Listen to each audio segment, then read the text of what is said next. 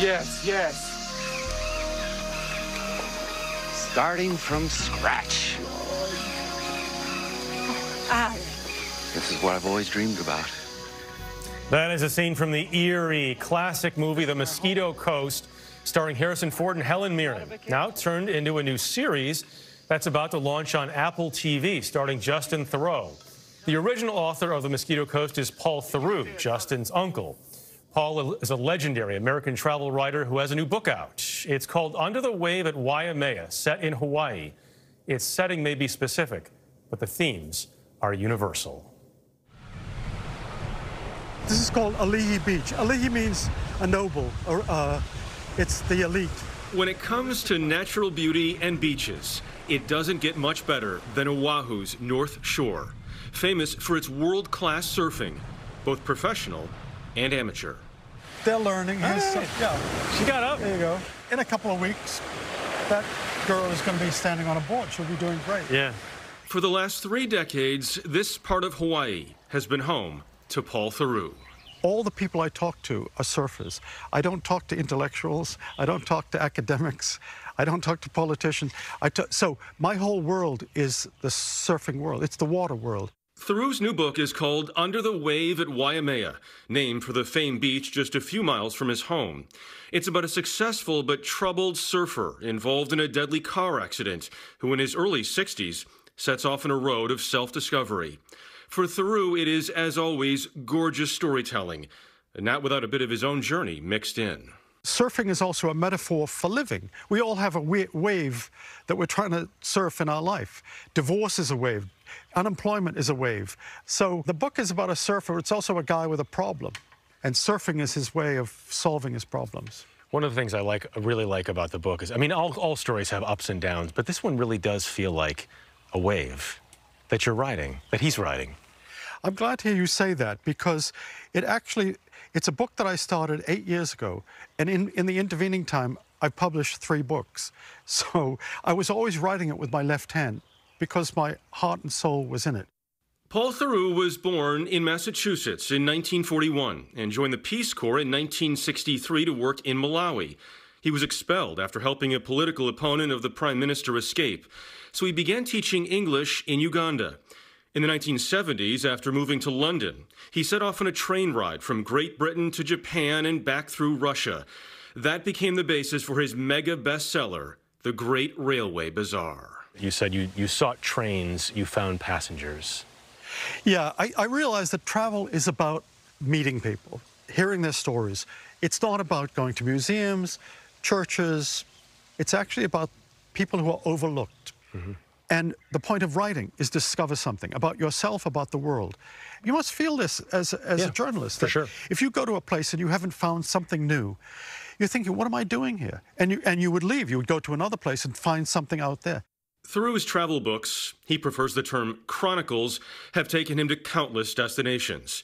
He's also written nearly 30 novels, This'll do for the kitchen. That could be the laundry and wash house. including The Mosquito Coast, about a disenchanted and eccentric American inventor who flees the country, a story originally adapted in the 1986 film starring Harrison Ford. Go downstream to Hatties! No! Dead things go downstream, mother! Life is upstream! They found us. And now a TV series reimagined for the 21st century. Pack one bag, be ready in 10 minutes. 10 minutes. It should really resonate because the book I wrote is about a man who wants to leave the country. He said, This is not the country that I was raised in. This is I don't recognize anything. Let's let's all leave, build American ingenuity somewhere else. So they go to the jungle in Honduras. You built this. Yes. I needed a place to work. It started off as a guest house, but now it's my office. So Theroux himself never left the U.S. permanently, splitting his time between Hawaii and Cape Cod. Beautiful. But look around his writing space and you can see it's hard to find a man who has traveled more. uh, New Guinea skulls, Nepal. These are from Africa, from Angola. I was in a, a little village in Madagascar, and I said, a woman said, eh, "Que voulez-vous?" I said, I, I said, "What's that?" She said, "Un œuf." I said, "It's an egg." I said, Of what? A dinosaur? said, I said, yeah, okay. She said, this is the egg of the giant elephant bird. So this is your turn. You're gonna you're gonna shoot that I'll- target. What do you want me to? sh- Oh, the target. Okay, fine. Outside, he keeps his aim sharp. You hit it. Damn right I did. He's, he's a dead shot. since he does occasionally have to deal with predators that threaten his chickens and geese. Theroux has also never been shy at taking on what he considers another threat. You've long chafed at celebrities who feel like they can save Africa. Oh yeah. Why is that?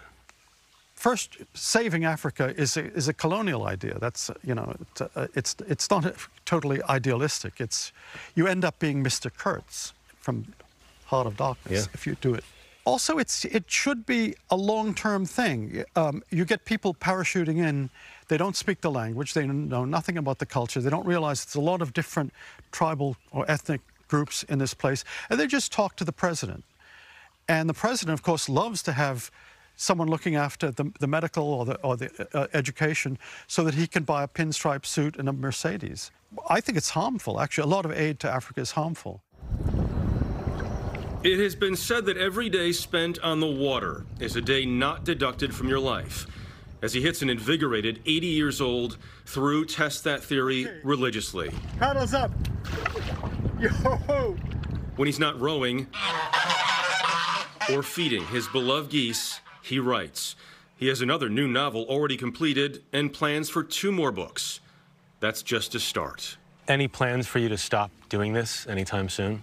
People ask that. What would I do? What would I do?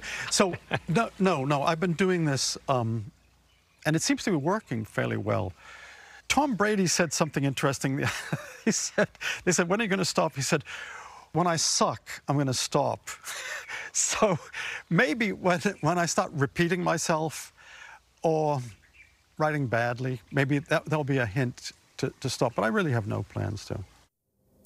I tell you what, he is not writing badly right now. His new one, Under the Wave at Waimea, is great, but what a life. It's to wake up in the morning, write for a while, then go rowing, then spend some time at the beach. I love how he talks about it's about discovery Yeah. and writing about the overlooked. I, his his his glimpse into humanity is just Well, and the, and the big thing about traveling is not going to churches and museums. They're great, but it's Right. meeting People, the people right. in these places. Great story, love Jeff. it. Yeah, really good.